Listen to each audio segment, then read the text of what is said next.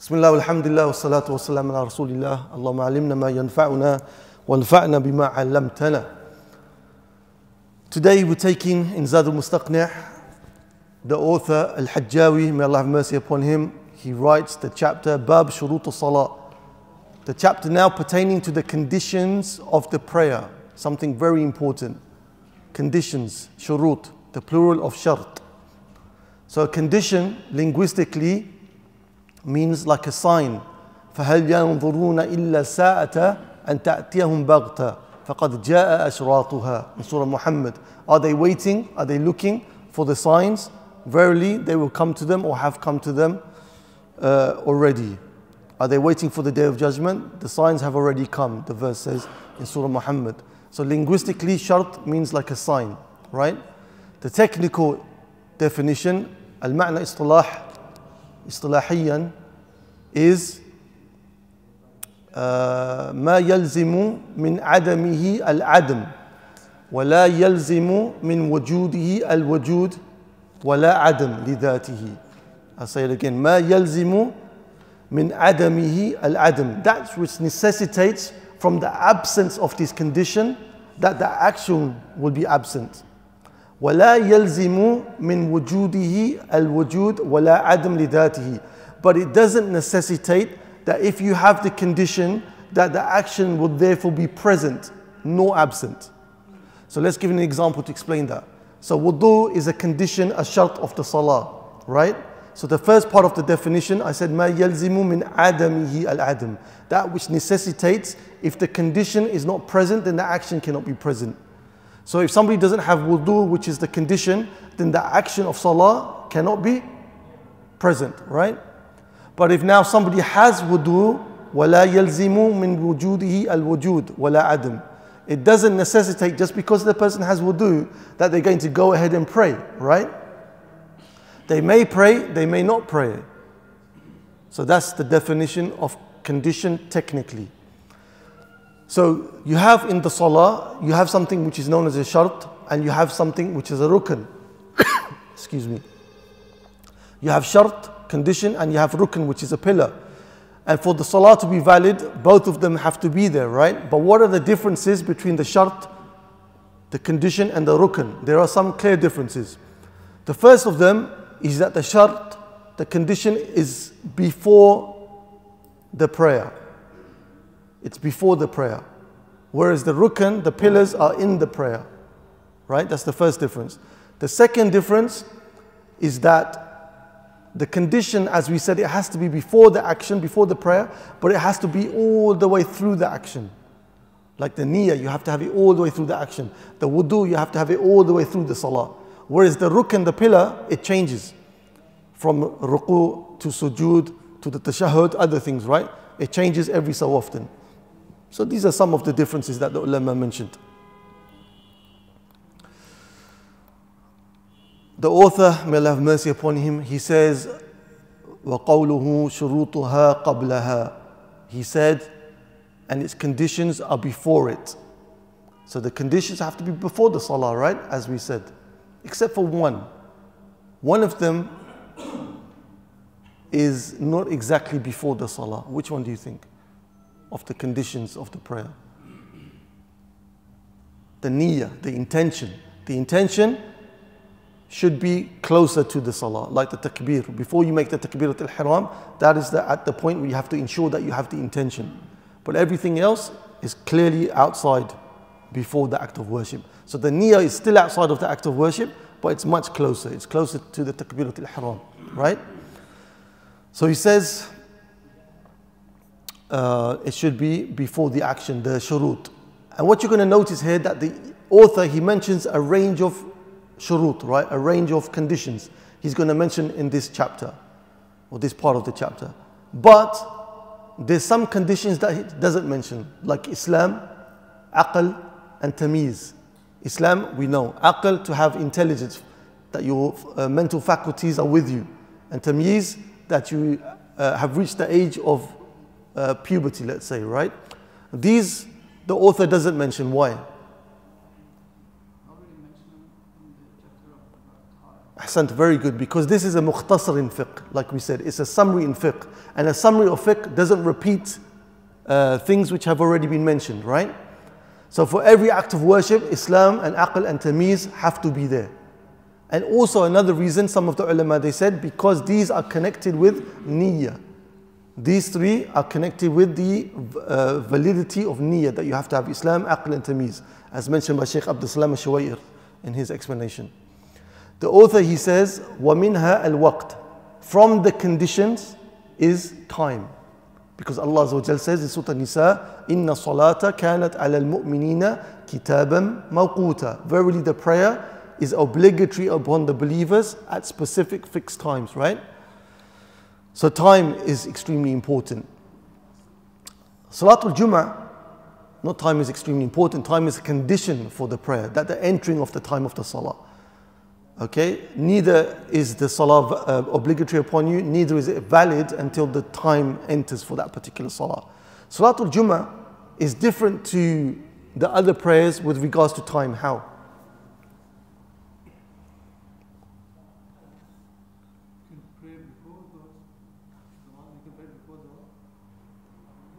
So Salatul Jummah, every Salah you have to pray in its time, yeah? Except for Salatul Jummah. No, that, that will confuse you. Salatul Jummah is different in the sense that every prayer, if the time is missed, it can be made up with qada, but not Salatul Jummah.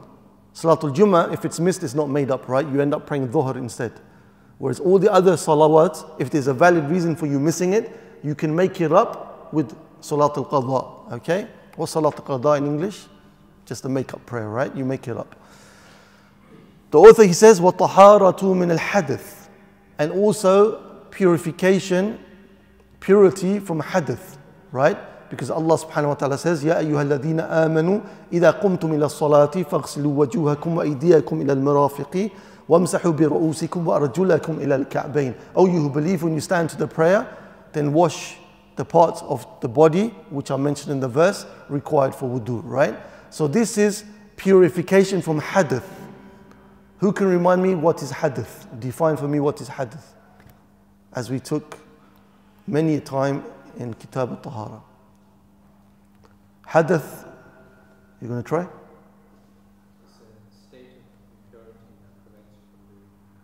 Very good, that's the meaning of it, but the, de the definition is uh, wasful ma'nawiyun يقوم في البدن يمنع من الصلاة ونحوها مما يشترط له الطهارة. We took this so many times. It's an intangible state of impurity, right? It's not tangible, you can't see. It's an intangible state of purity, impurity which is found on the body. It prevents you from praying and acts of worship which are like that, that need purification, that need you to make wudu or need you to make ghusl, right? So this is hadith. So the author, he's mentioned to us now that tahara from hadith, that purification from this state of hadith, yani you have to make wudu or you have to make ghusl, right? Is also a condition for the prayer. And then he says, one najas. And he says also removing impurity, staying away from impurity is a condition for the prayer. It's a must, right?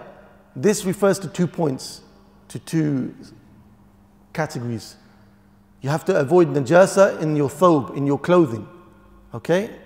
In Ahmad, collected by Ahmad and Abi Dawood, once the Prophet ﷺ, he was praying and he took off his shoes. The companions radiallahu anhum, they also took off their shoes into salah after seeing the Prophet ﷺ doing it. Then the Prophet ﷺ, after the salah, he said to them, ما حملكم على إلقاء نعالكم قالوا يا رسول الله رأيناك ألقيت نعليك فألقينا نعالنا He said, what made you take off your shoes? They said, Ya Rasulullah, we saw you take off your shoes, so we took off our shoes. Look how they used to follow the Prophet ﷺ, no questions asked. Then the Prophet ﷺ said, Inna Jibril atani fa'akhbarani anna fihima qadr. Jibril alayhi came to me and told me that in my shoes there was some impurity, there was some filth. That's why I took off my shoes, right?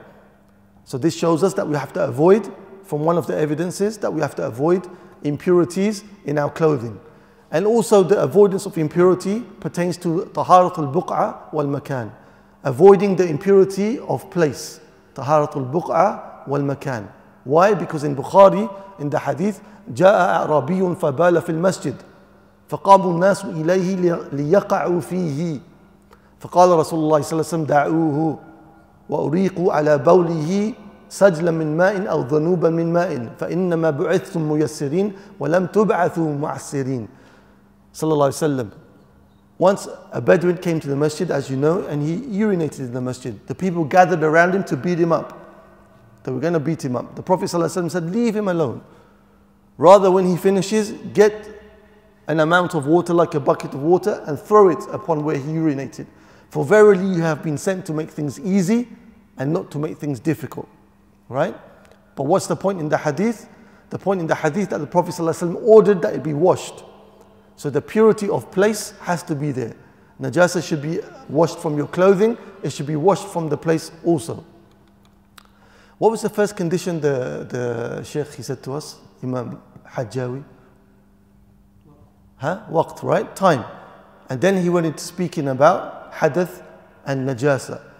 So why did he start with time? And then he mentioned these two conditions, and now he's coming back to time in great detail. Why did he do that? Why didn't he just put all time together? What could be one of the reasons? One of the reasons the scholars mention is that they say that waqt is the most important of the conditions. فَإِذَا تَعَارَض If it opposes or clashes with the other conditions which are going to be mentioned and which have been mentioned, then the waqt will always take precedence. Like we mentioned previously, that if you're in a situation, for example, where you don't have the ability to find clothing, which is satr al-awra, covering your awra is one of the conditions of the prayer. And the time is about to run out, then what should you do? Should you delay your prayer and cover your awra, or should you pray in the time without covering your awra? We said always that you take the condition of time first. That takes precedence. So this is one of the reasons why the author, he wrote the points like this. He started with the time, then brought two other conditions, and now he's gone back to time again, okay? So this was mentioned by Sheikh Abdul Salam al-Shawair. فوقت الظهر من زوال إلى مساواة شيء فيئه بعد فيء زوال. The time for dhuhr is after zawal al-shams. What is zawal al-shams? You've heard this term many a time. So the sun is overhead in the middle of the sky and then it starts to move to its direction towards the east, right? It starts to move, is that correct? Towards the west, towards the west. Starts to move towards the west. So this is the time of zawal. And it ends when the shadow of an object is the same length as that object after the shadow of the zawal. I'll explain this in a minute. In Sahih Muslim, the Prophet ﷺ said, وقت صلاة الظهر إذا زالت الشمس وكان ظل رجل كطوله ما لم يحضر العصر that the time for dhuhr is when the zawal starts right and the end time of the dhuhr will be when his shadow the shadow of a man is the same size as him okay until asr comes in completely so he mentioned here something called fay az-zawal so the shadow of an object before, before the sun reaches the midpoint in the sky will start to decrease. And then it will stop decreasing at a certain point for maybe roughly 10 minutes or so. But there will be some shadow of that object left. So you have to include that in your calculation, right? So now he said that the end time for dhuhr is what?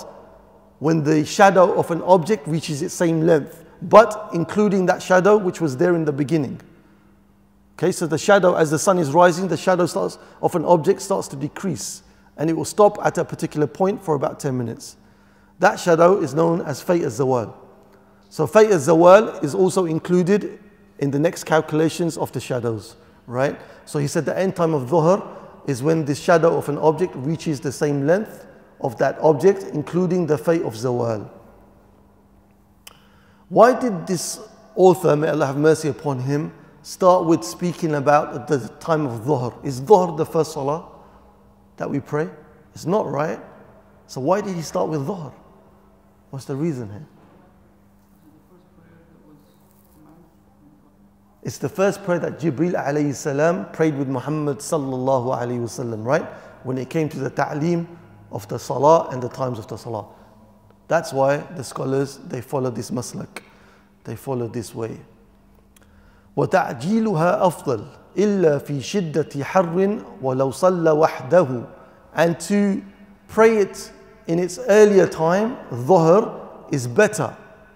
Okay? Even except for in extreme heat. So to pray it in its early time is better, even if the person is going to pray by himself, the author is saying, his opinion. And if there's extreme heat, then that's when you do not pray it in its early time. Okay? So recommended is to pray dhuhr earlier.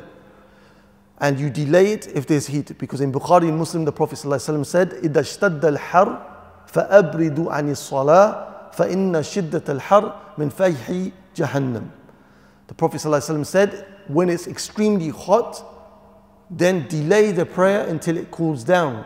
For verily the heat is from the exhaling of Jahannam, of the hellfire. May Allah protect us from that. Right? And this ibrad mentioned in the hadith, this delaying the prayer until it cools down, as mentioned by Sheikh Abdul Salam Shawayir, is around in the summer an hour after dhuhr. Okay, it's about up till an hour after dhuhr and not too much longer after that. So the author is saying that you play it, you pray it in its early time, dhuhr. It's recommended to pray in early time, but if it's extremely hot, then you delay it, right? If it's extremely hot. And he also says, أو مع غيم لمن يصلي جماعة you also delay the prayer if it's a very cloudy day, if you are praying in Jama'ah. Right? That's another reason for delaying the, when I say delay the prayer, it's not delaying it beyond its time. It's just making it in the later time as much as possible, right? So he says delay it if it's a cloudy day and you are praying in congregation. Why do you think you would do that? What is the ta'leel? Ta'leel meaning what is the reasoning behind this possibly? No visibility of the sun, just to make sure. Ahsant barakallahu feek. That's one of the reasons. No visibility of the sun. So you have to ensure that the time of dhuhr has come in. That's one of the reasons the scholars give. What else? Generally, when it's a cloudy day, it kind of indicates there's going to be some bad weather, strong winds, storms, etc. Right? So the ulama, they don't want you to come out twice for Salatul Jama'ah. Because the good people, the good men, they pray in the masjid. So for you to come out twice in that type of weather is very difficult for you. So they say delay dhuhr as much as possible close to asr. Pray that jama'ah, then you will wait in the masjid. When asr time comes in, then you will pray asr. That's how you will join the salawat, right? To avoid having to go home in the strong winds and rain and then to come back again. Okay? And another riwayah of Imam Ahmad, another narration of Imam Ahmad and held by Ibn Qudama is that you pray as normal. But our author, Al Hajjawi, said you delay if you see it to be extremely cloudy, as the brother mentioned, to ensure that the time has come for sure and to make it easy upon the community. What does he say next, the author? He says, وَيَلِيهِ وَقْتُ الْعَصْرِ إِلَى مَصِيدِ الْفَيْءِ مِثْلَيْهِ بَعْدُ فَيْ الزَّوَالِ Following on from Dhuhr is the time of Asr, right? And this time of Asr will continue after Dhuhr until the shadow of an object is twice its length. But you have to also include the fay of the zawal. Remember that type of shadow that was left? You have to include that also. And then he says, وَالضُّرُورَةُ إِلَى غُرُوبِهَا And the necessity time for praying Asr is until the sun sets. Okay? So you have a waqtul ikhtiyar, the chosen time, the preferred time. Hold the question, inshallah. Khair. Write it and we'll answer inshallah. The preferred time, the waqtul ikhtiyar for Asr, okay, is before, before what? Before the shadow reaches twice its length, okay? And the allowed time for somebody who has an emergency or a must, a durura, is until the sun sets for Maghrib, right? So waqtul ikhtiyar is until when a shadow reaches twice its length. Waqtul ikhtiyar, until the shadow reaches its twice its length. So from the time of dhuhr finishing until that time, that's the chosen time for praying asr. Okay, another opinion in the madhab which is often quoted is what is mentioned in Sahih Muslim where the Prophet ﷺ said, Waqtul asri ma lam tasfarra shams. That Salatul Asr is as long as the sun doesn't become weakened and, and yellowish. A kind of weak yellow. Okay? The sun becomes weakened and it has like a weak yellow color. So this is another way, as mentioned by the hadith, in telling that the time of Asr is coming to its end. And we said Asr has a waqt al-durura. What is the waqt al-durura? The necessity time. Like if there's somebody cannot, uh, doctors, etc., they cannot pray in that time. They're operating maybe, they, or somebody's doing something of importance, or somebody's trying to fulfill a condition of the prayer, and you can't do it in the early time, the waqt al-ikhtiyar, this is the waqt al-durura. When did I say it's up till? Up to sunset, right? Because the Prophet ﷺ said in Bukhari Muslim, Man adraka rak'atin rak'atan min al asr qabla an taghrubu shams faqad adrak al-asr. In Bukhari Muslim, the Prophet ﷺ said, whoever catches a rak'ah from asr before the sun has set, then he has caught the asr prayer. So if you're able to pray one rak'ah, one unit of prayer, before Maghrib comes upon you, then you have caught the prayer. But as the ulama explained, this is for those who are in a position or in a state of necessity that they had to delay the prayer to this time. But if you delay it to this time, to the end time of Asr, after the shadow of a thing has become twice, then you are sinful. If you delay it there without cause or reason, you are sinful. You're only allowed to delay it to the durura if you had a real reason, okay, to do so. So this will be for the, uh, they say, the ahlul uh, a'dhar, the people of excuse. Like for example, somebody who's menstruating and she only became pure now before Maghrib comes like 20 minutes, 15 minutes. So that's her time where she has to pray. Or somebody woke up due to from a sleep that they didn't intend to sleep so long and they've woken up now, they've got 20 minutes left till Maghrib, they can pray Asr and there's no sin upon them. Okay? And people of that nature. And also to mention an extra point, uh, Sheikh Abdul Salam Shuwayr in his explanation of the book, he said that to delay the prayer, Asr to that waqt al-durura time, if you want to catch a jama'ah, a congregation, and you know that for whatever reason the congregation is going to be delayed, then it's better for you to delay and catch the congregation, even though you're going to fall into that waqt al-durura, not the waqt al-ikhtiyar, not the chosen time, right? وَيُسَنُّ تَعْجِيلُهَا And it's recommended to pray the Asr early. It's recommended to pray the Asr early, whether you still feel hot or you don't feel hot. It's recommended to pray early. The author he says, وَيَلِيهِ وَقْتُ الْمَغْرِبِ إِلَى مَغِيبِ الْحُمْرَةِ Following the Asr prayer is the time of Maghrib. Is the time of Maghrib. Okay? إلى مغيب الحمرة. In Sahih al-Jami' of Shaykh al-Albani rahimahullah ta'ala, he quoted the hadith of the Prophet sallallahu alaihi wasallam where he said sallallahu alaihi wasallam, وقت المغرب ما لم يغب الشفق. The time of Maghrib will continue as long as the shafaq doesn't disappear or until the shafaq disappears. The shafaq al-ahmar is that redness that you will find on the horizon. When this disappears, then the waqt of Maghrib has finished, right? So he says waqt al-Maghrib until what? Shafaq al-ahmar has disappeared, right? And also for the time of Maghrib to come in, I forgot to mention that when you're looking at the horizon and you're seeing the sun go down, when do you know that Maghrib time has come in? Is it when half of the sun's disk has disappeared? Or is it full? It's full, right? Fully the sun's disk has to disappear from the horizon, and that's when the time of Maghrib will come in. So Maghrib will continue into the Shafaq al-Ahmar, the redness in the horizon is completely disappeared, right? Any light in the horizon is disappeared. وَيَسَنُّ تَعْجِيلُهَا And it's recommended to pray it quickly. And this is the opinion of the four madhahib, the four schools of thought. It's recommended to pray it quickly. إِلَّا لَيْلَةَ جَمْعٍ لِمَنْ قَصَدَهَا لِمَنْ قَصَدَهَا مُحْرِمًا Except for the night of Jama' which means the night where you are going to pray in Muzdalifah if you're on Hajj, okay, for the one who is in a state of Ihram. So in this situation, when you are traveling back from Arafah to Muzdalifah, and the time of Maghrib comes upon you, it's recommended that you delay your prayer of Maghrib until you get to Muzdalifah. This is what he meant by delaying the Maghrib prayer in that situation. Otherwise, you always pray it early as possible. Then he said, وَيَلِيهِ وَقْتُ الْعِشَاءِ إِلَى فَجْرِ الثَّانِي Following the Maghrib prayer, when the Shafaq al-Ahmar, when the redness disappears from the horizon, comes the time of Isha. That's the time of Isha. And this Isha time will extend until the second Fajr. So the Prophet ﷺ said in Sahih Muslim, Sahih Muslim, أما إنه ليس في النوم تفريط إنما تفريط في من لم يصلي صلاة حتى يجيء وقت صلاة الأخرى. The Prophet ﷺ said, there is no negligence in sleep. And here he means not the one who sleeps on purpose, right, when it's prayer time. There's no negligence in sleep. Very, verily, negligence is for the one who delays a prayer until the time of the other prayer comes. Right? So from this hadith, the, the ulama, they say that the times of the prayer, they're connected one to the other. So as soon as Maghrib finishes, Isha comes in. As soon as Isha finishes, Fajr comes in. So the point here, the author, he said that the Isha time is until the second Fajr.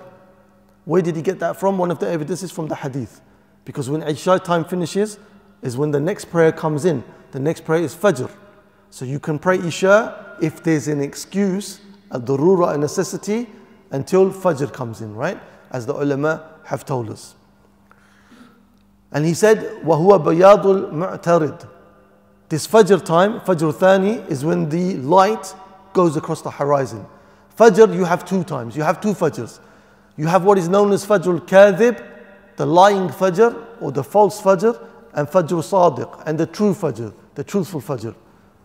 Fajr al-Kadhib is when you will see light on the horizon, but not horizontally, it's vertically, right? It goes up. and between the horizon and this light, there is darkness. Between the horizon and this light, there is darkness going up vertically. And then that light will disappear and it will return back to being dark.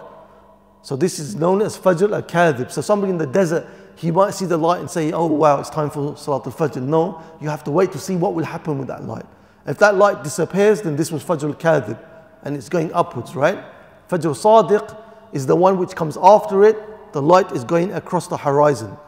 This is Fajr Sadiq, and this is the one where you pray. وتأخيرها إلى ثلث الليل أفضل إن سهلا and to delay the Salatul Isha into the third of the night has passed is better if it's easy for the people, if it's not difficult for the people.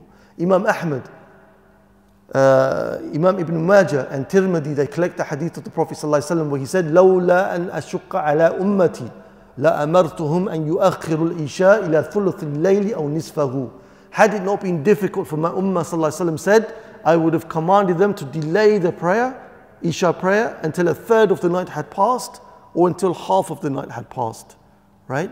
So the Prophet ﷺ would love to delay the Isha prayer if it wouldn't be difficult for the people. So this is the waqtul ikhtiyar. The chosen time for Isha after Maghrib is to delay it until a third of the night has gone, if it's not difficult. And the waqt al-durura, the waqt of necessity for those people who have excuse is to pray until the time of Fajr comes upon you, right?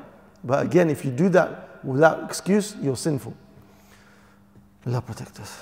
Then the author he says, وَقَوْلُهُ وَيَلِيهِ وَقْتُ الْفَجْرِ إِلَى طُلُوعِ الشَّمْسِ Following on from that time of Isha is the time of Salatul Fajr until the sun rises.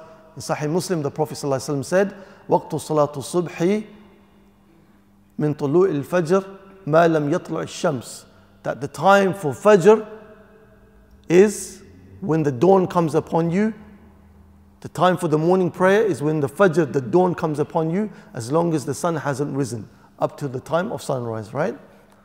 وَتَعْجِيلُهَا أَفْضَلُ The Prophet the author, rahimahullah ta'ala, Imam Hajjawi, is telling us that to pray Fajr in the earlier time is better. تَعْجِيلُهَا Bukhari Muslim Aisha radiyallahu anha أم المؤمنين She said كنا نساء المؤمنات يشهدنا مع رسول الله صلى الله عليه وسلم صلاة الفجر She said verily the believing women used to pray Salat al-Fajr with the Prophet sallallahu متلفعات بمروتهن and they will be fully covered with heavy clothing, with heavy wraps.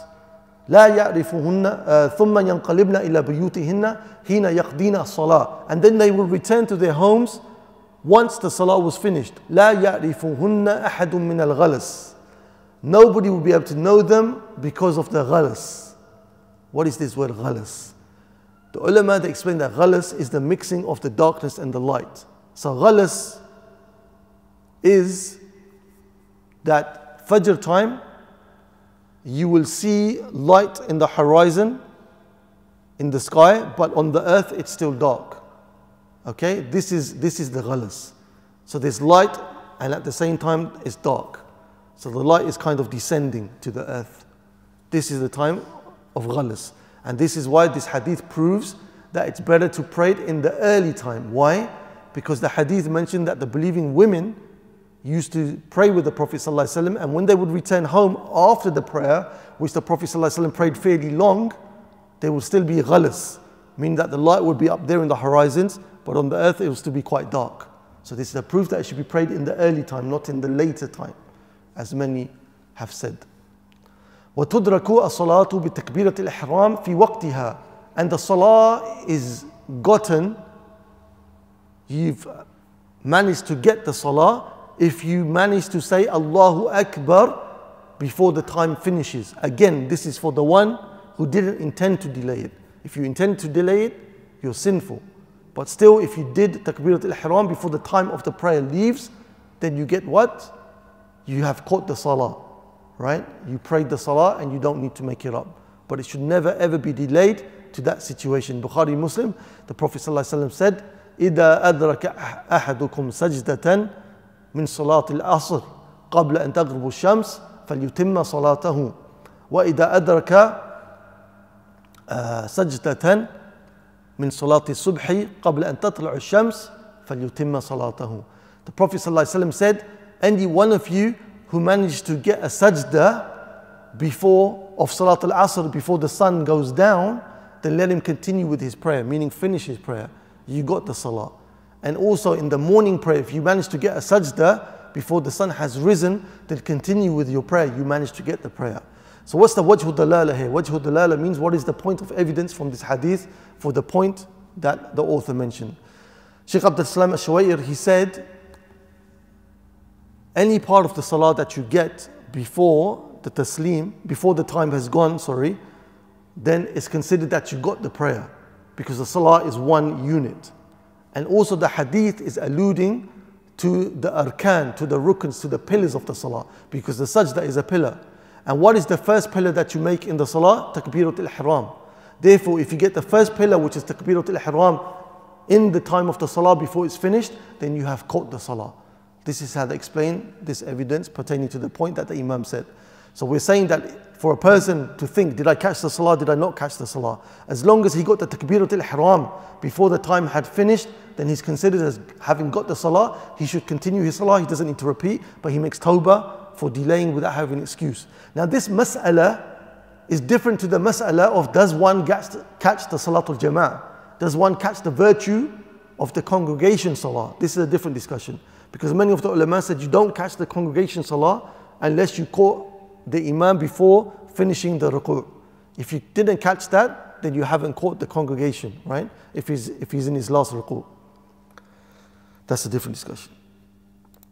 طيب what does the author say next ولا يصلي قبل غلبة ظنه بدخول وقتها ولا ولا يصلي قبل غلبة ظنه بدخول وقتها and the person cannot pray and should not pray until he he is sure to the best of his ability غلبة الظن sure to the best of his ability that the time has come upon him. Tayyib, how is the time for salah known? Sheikh Abdul Salam al he mentions four points. They're really two, but he breaks them into four. He says the first of them is that the person sees the sun's position by himself, ru'ya. If he doesn't see the sun, the second way of knowing the salah is that he has khabar, min al He's told by a reliable person about the ru'ya. So he's told about the position of the sun. The third of them, way to know is knowing through calculations of the positions of the sun or the positions of the moon. This is other ways that salah timing is known. If the person doesn't know how to do that, the fourth way is that he's told by somebody who is trustworthy, who has that knowledge and who is trustworthy. So these four ways is where the salah time is known. So the author he said you cannot pray unless you know to the best of your ability that the time has come upon you. Now he's going to explain how this is known. Imma bi ijtihad. Either by making ijtihad. You have the knowledge, you have the ability to determine when the prayer times are. So you have to use that knowledge and that ability. أو خبر أو خبر ثقة متيقن or you can base your uh, ruling upon the information that somebody of knowledge and trustworthiness gives to you. So either you have it yourself or somebody of trustworthiness and knowledge gives you the knowledge or informs you that now the time of prayer has come in. So this is how you can ensure that the time of prayer has come. فإن أحرم باجتهاد فبان قبله فنفل وإلا فرض. So if the person he makes ijtihad, he strives to the best of his ability with his knowledge, right, to determine the time of prayer. So he goes ahead and prays, but then he finds out later on that actually I prayed before the time. I prayed before the time. So then his prayer that he prayed will be converted to a nafil. Okay, and then he will have to go ahead and pray that prayer again. So somebody prayed after making ijtihad, right? He tried his best, but then he found out actually I prayed early. So that early salah that he prayed is a nafil in his uh, bank of good deeds. But the fard prayer, he still has to go ahead and pray. Because the rule in fiqh is, لا عبرة بالظن البين خطأه. لا عبرة بالظن البين خطأه. There is no consideration of dhan, and dhan is that it's not certainty, but it's the best of your ability in knowledge. But then later comes out to be uh, incorrect, so there's no consideration of that in the rulings. That has to be ignored. Okay. Sheikh Mutlaq Jasir, in his explanation of this book, he mentions an interesting mas'ala. He says, Look, if somebody went ahead and prayed but he didn't bother to check the times in the sense of using his knowledge to check the times nor did he go and ask somebody of trustworthiness, eh, has the time come in? He went and prayed a certain prayer, but he was correct in his prayer. It was the right time. His salah is still not going to be accepted from him. Did you get the mas'ala? So a person has prayed a certain prayer. He didn't go ahead and check using his knowledge if the time had come in, nor did he go ahead and ask somebody who had the knowledge, did the time come in? He just went ahead and prayed, but then his prayer happened to be in the correct time. They say here the prayer is not valid. Does anybody know why? That could be.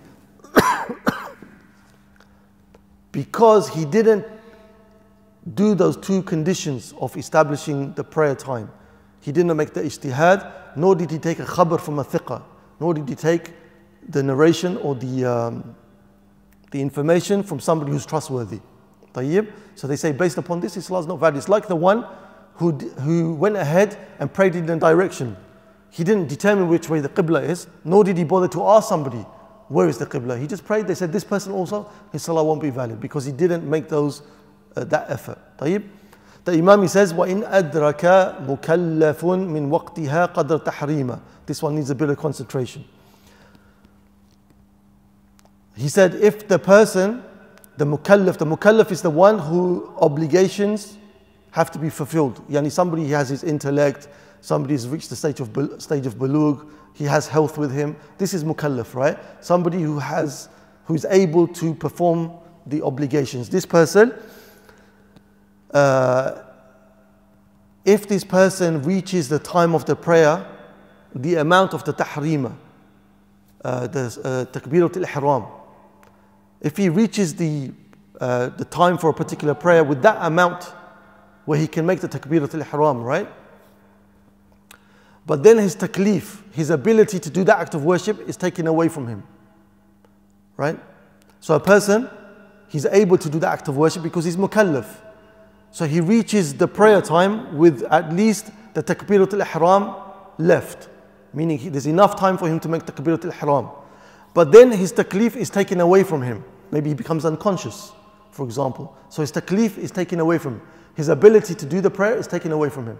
أو حاضت or a woman, she started to menstruate in that time.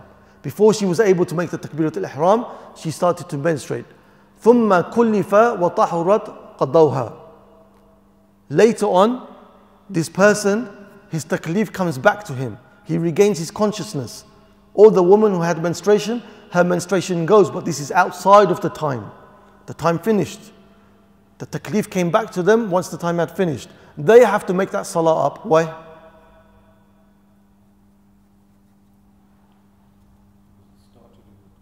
Because they were able to get the takbirat al-ihram in that time. They were a person of taklif.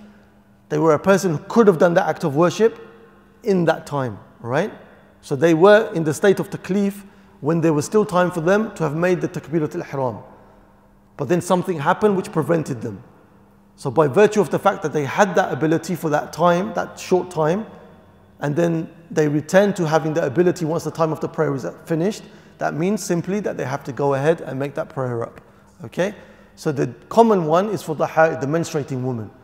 She starts to menstruate when there's, uh, she had time left to make takbirat al-ihram In that prayer, she started to menstruate. So we say to her, whenever you come back to purity, that salah that you had time to make takbirat al-ihram in, you have to make it up. Okay?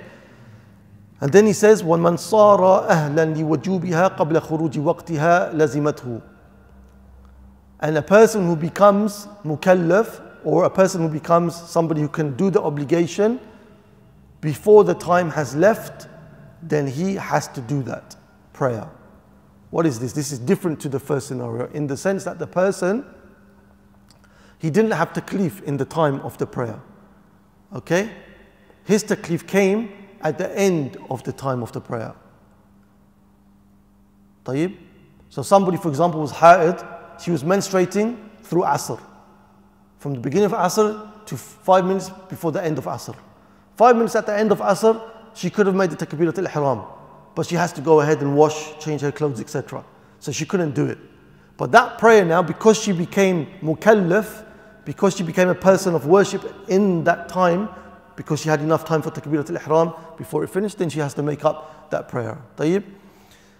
The author he says, وَمَا يُجْمَعُ إِلَيْهَا قَبْلَهَا And also the person in these situations where they can make the two situations that I mentioned where they were able or they, they were mukallaf in time before it passed, they also have to make the other prayer up to it which could have been joined with it. This is fatwa of many of the Sahaba radiallahu anhum. They said, for example, if a woman becomes pure, okay, in the time of Asr, so she has five minutes left before Asr is going to finish. She's not going to pray Asr because she has to make ghusl. She has to change her clothes, right? So what's the situation for her? She has to pray Maghrib, she has to make the Asr up. Why? Because she finished her, her, her Hayd before the time of Asr had finished. That's when she became Mukallaf. And also she has to make up Dhuhr. Why? Because Dhuhr can be joined to Asr. Tayyib, this is the fatwa of many of the companions. Likewise also, if the woman, uh, she became pure just before Fajr. Just before Fajr, right? then she's going to miss her Isha because she hasn't got enough time to get ready for Isha. So she prays the Fajr, then she has to pray the Isha, and she has to pray the Maghrib with the Isha because Maghrib and Isha can be joined. وَيَجِبُ فَوْرًا قَضَاءُ الْفَوَائِتِ And the making up of the prayers that you have missed have to be made up quickly, as soon as you are able to do so. The Prophet ﷺ said in Bukhari and Muslim, مَنْ نَسِيَ صَلَاةً فليصليها إذا ذكرها لا كفارة لها إلا ذلك Whoever forgets a prayer, then let فليصلي Then let him make it up as soon as he remembers it. There's no expiation for it except that. Sheikh Abdul Salam al he said the fa here in the hadith, فليصليها is the fa al-fawriya, meaning that it has to be done quickly. Okay, so the fa in this hadith is saying you better do it. It has to be done as soon as you remember, as soon as you have the ability. You can't delay it. Happened to me today. I woke up after a nap. It was time for Asr. And then I realized, subhanAllah, I don't know how it happened. I didn't pray Isha last night for whatever reason. I was feeling a bit sick. I was, I was saying to myself, I'll pray later. So then as I'm coming down the stairs, Shaitan starts whispering to me, right? Yani, eat something first and then make it up. But the hadith say no. As soon as you remember, as soon as you have the ability and you've missed the prayer, you have to make it up. So the fa is for, so for fawriya. Any fawaid, any salah that you missed, you have to make them up quickly. And he says, the author, murattiban, that you have to make them up in order. Okay? You have to make them up in order because the rule of fiqh, al-qada, yahki al-ada. The qada has the same rules as the prayer which was done properly in ada. The made up prayers have to be done like the normal prayer in its timings also. So you have to make them up in order, right? Hold the question if you don't mind. Then the author he says, Rahimahullah Ta'ala, وَيَسْقُطُ التَّرْتِيبُ بِنِسْيَانِهِ And tartib, doing them in order, is overlooked if the person forgot. As we know, the Prophet ﷺ said, as narrated by Ibn Majah and Bayhaqi, may Allah have mercy upon them, the Prophet ﷺ said, Inna Allah Ta'ala tajawaza li an ummati al-khata wal isyan wa mastukrihu alayhi. That verily Allah subhanahu wa ta'ala gifted me for my ummah that whatever they did forgetfully or they did mistakenly, okay, or they were compelled to do, they are overlooked in that sense. So anything you did out of mistake, which you shouldn't have done, or you're compelled to do it, or you did out of uh, or mistakenly, then it's overlooked for you. So here, the author said that tartib, doing, some, doing the prayers in order is overlooked if you forgot. Tayyib, so for example, they say that a person, he prays Asr, he's praying Salat al-Asr, but he forgot to pray Dhuhr, right? So before making the Taslim, he remembers that he didn't do Dhuhr. So his Asr, his Asr is going to be a nafil for him now, right? Because he should have made the prayers up in order. So he has to go and pray Dhuhr and then make the Asr again. Because he had a prayer to make up before Asr. But the person who's praying Asr and he had to make up Dhuhr, if he remembers after the Taslim, then his Asr is okay for him. He carries on with that. It's, it's nothing to do here.